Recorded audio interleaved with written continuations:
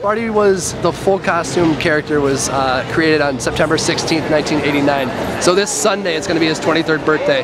But since we have the game Saturday night, we're uh, celebrating today at the Rock, and then we'll celebrate also tomorrow at the stadium during the game. So it should be a good time. Yeah, we came up with it with the program. We thought it'd be a great way to just get Sparty out, um, to get students excited, give away some cookies, cake. We've had hot chocolate, and um, and just have a lot of fun. Everyone's been taking photos with Sparty. Uh, we encourage everyone to sign the Rock. It's actually his um, real life birthday card. So on the front of it, it says happy 23rd birthday Sparty, and on the back it says dear Sparty, and then everyone can sign the back with their name and a message for Sparty. You head to the Student Alumni Foundation website. Our website is saf.msu.edu. You can have Sparty at your next event.